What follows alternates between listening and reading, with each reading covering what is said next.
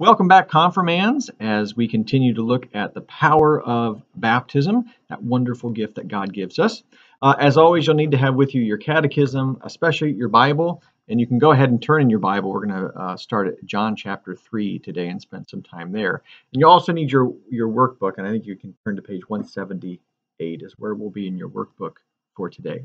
Now, if you remember last time, we looked at the story of Naaman and his washing and his cure from his leprosy and as a, an illustration of how God uses water for his people. Uh, water having both positive and negative effects, but here a positive one of, um, of helping to cure Naaman. But we also remember that it wasn't the water itself that did this. Um, in fact, the water of the River Jordan was nothing very special, and in fact, it was pretty gross. But what was uh, important about it was that water was connected with the promise and the power of God, and so God worked through that to bring uh, healing to Naaman. It was that that water was attached to the word of God and the promise of God, which was so important. So now we're going to continue to build on that. So take a look at page 178 of your workbook, and there's another story about God's power. It's the story of Nicodemus. And Nicodemus was a Pharisee, and you also, again, want to turn your, your Bibles to John chapter 3, just starting verse 1.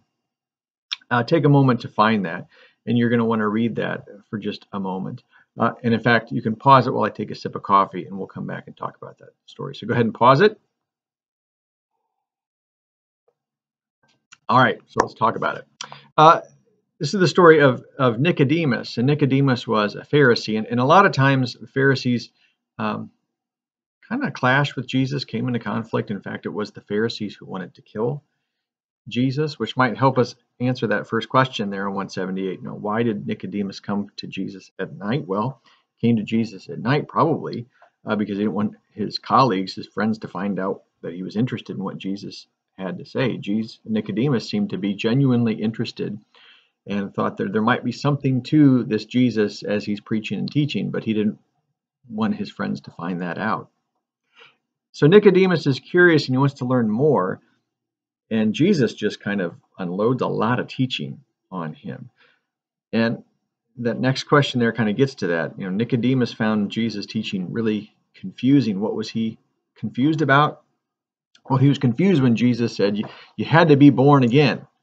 Now, Jesus didn't mean that Nicodemus had to shrink down, become a baby again, but rather he was talking about a different kind of new birth. And he gets very direct. He says you have to be born again of water and the Spirit. And what he's talking there is simply about baptism. That baptism is that water in the Spirit that, that causes us to be born again. Uh, now, much like Nicodemus, we might get kind of confused by these teachings, but part of what Jesus is getting at is that it's in baptism uh, and in the, the promise of the word, but also in the working of the Holy Spirit. Uh, that's the real power there. That the Holy Spirit is that which kind of opens our eyes to see Jesus. Nicodemus needed that, and, and, and we need it too. In fact, in the story of, uh, in the Gospel of John, Jesus needs to send the Holy Spirit so he can open his eyes, so the disciples can see Jesus who for who he really is. It's such an important part of John's story that the Holy Spirit is going to come. And baptism is the means by which that Spirit's going to come.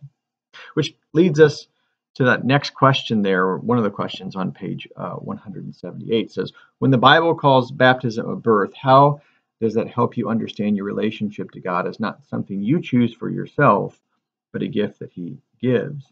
You can just think about the words that Jesus used that you didn't choose to be born.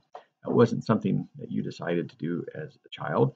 Uh, and even your parents, they may have wanted to have you, but it was God who created life uh, inside of your mother. It's God who brought that life uh, to fruition, and God who uh, provided for your birth and, and everything that you have. Right?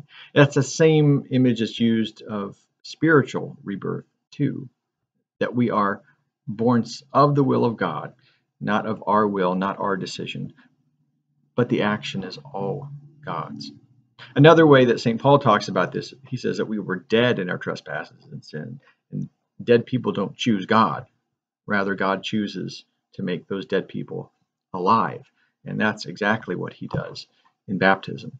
That this is all God's work. And we're going to unpack that more in the next video. So we'll see you then.